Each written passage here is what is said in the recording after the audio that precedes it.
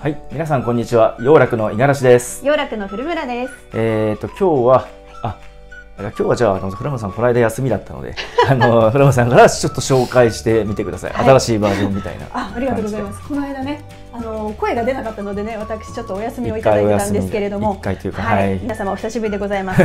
本日はですね、なんとここにご用意してあるようにお茶を報じてみるっていうのをね、やるんですよね。そうなんです、はい、しかもなんと2種類やってみようかなと思いまして、1種類目は何でしたっけ？これは緑茶まあ皆さんよく飲んでいる日本の緑茶をまずやってみたいと思います、はい。でもう1種類がなかなかない面白いものをちょっとチャレンジしてみようと思うんですよね。はい、こちらの紅茶をあの報じてみたいと思うんですね、はい。えーしかも今回報じてみるのは国産の紅茶なので、えーなかなかないと思うので皆さん最後までお楽しみください。あ最後僕が締めちゃいました。すいません。はい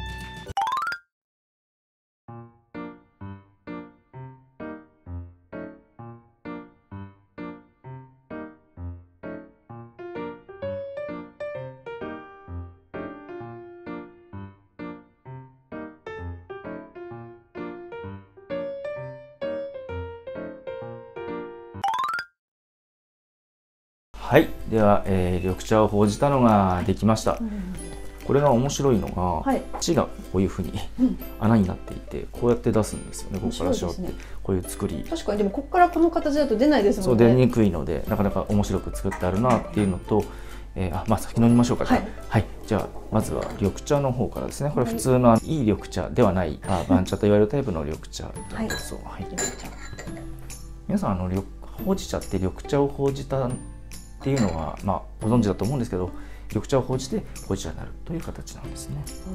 意外とご存知じゃないかもしれないですよ。そうですね。あ緑茶を報じるっていうのはちょっと言い方があれかもしれません。最初から緑茶を作った上で報じるわけではなくてほうじ茶にしようと思って報じる。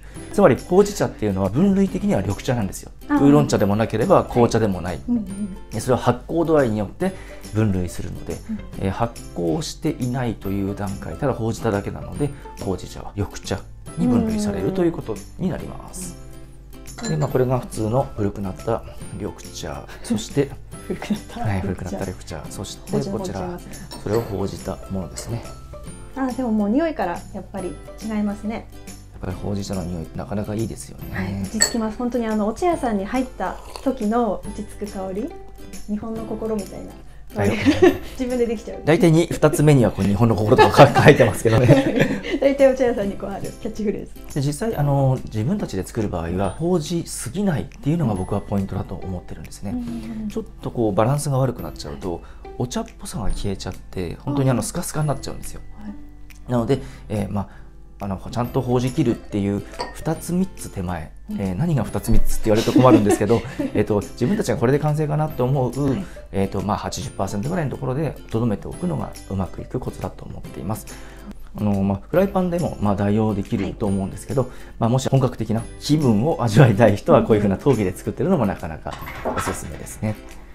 では次はいよいよはい、紅茶をほうじるというのをやってみたいと思います。はい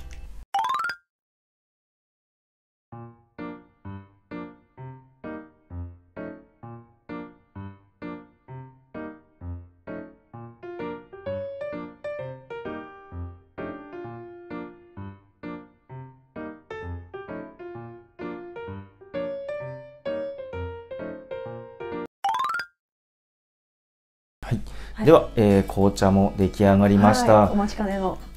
こちら、えー国産紅茶、島根県産の紅茶なんですけどね、まずこっちがほうじてない方、通常の方。その紅茶このままでも十分美味しいんですよね。美味しいですよね。いただきます。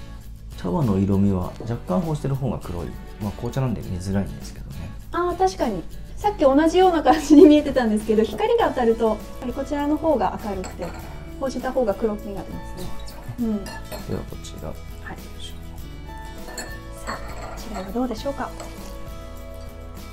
ほうじた、はいあのメリットとしては、うんこのあのもう香ってくるような、はいあの香ばしい香りまあほうじたてっていうのが正直あるのであやはりこれが普通の紅茶にあえてこのいいること報じることによって、えー出てくるメリットだと思うんですね。はい。それが性格の違いっていうのをかなり、うん先ほど言っていた性格の差、はい、本当にそのいってる時の香り報じてる時の香りもだし今も香ってくる香りプラス味もちょっと変わりますよね。そうなんですよね、はい、飲んだ瞬間にこの鼻から、あのいった香り報じた香りっていうのは香ばしい香りがこう鼻に抜けていくっていうのがこの飲んでいる味と一緒に味わえて、はい、それがすごく味に、はい。えー、つながるのかないい印象につながるのかなというふうに思います。やっぱりあの鼻から来るあの匂いっていうのはすごく飲む人にとって大事な部分。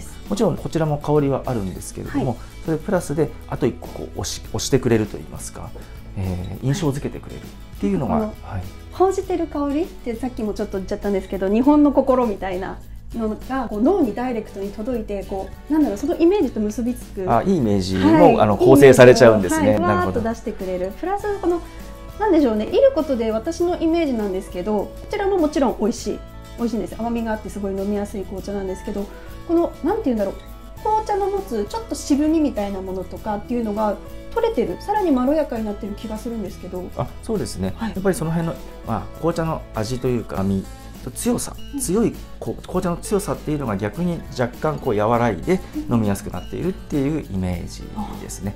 であのあの 洋楽にはあのこちらの商品が実はあるんですね。ちょっと宣伝なんですけど、えっとこちらティーバッグに入っているタイプのえっ、とほうじ紅茶。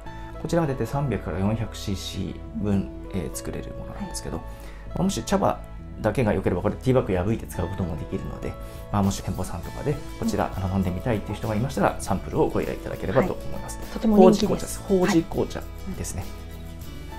では以上になります。美味しかったですね。あ意外と美味しかったですね。美味しいし、あのほうじてる時の香りがもう癒されて、あのお部屋中がすごいいい香りするのでね。